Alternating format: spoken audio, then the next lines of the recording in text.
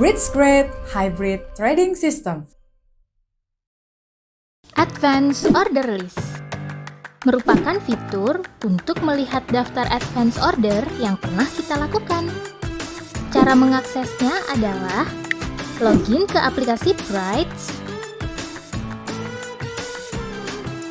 klik main menu, klik Advance Order List pada submenu Advance Order. Masukkan PIN, pilih jenis advance order yang dilakukan, all, slice order, auto order, reversal order, break order, volume order, GTC. Pilih jenis transaksi, buy atau sell. Pilih status, all, working, stop, complete, reject, pending. Untuk melakukan cancel order, klik tombol C pada order yang ingin di-cancel.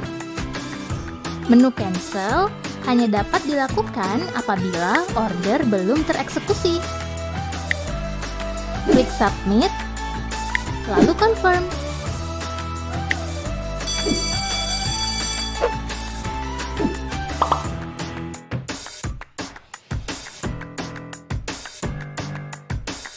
BRI Dana Reksa Sekuritas, terpercaya, berpengalaman, melayani.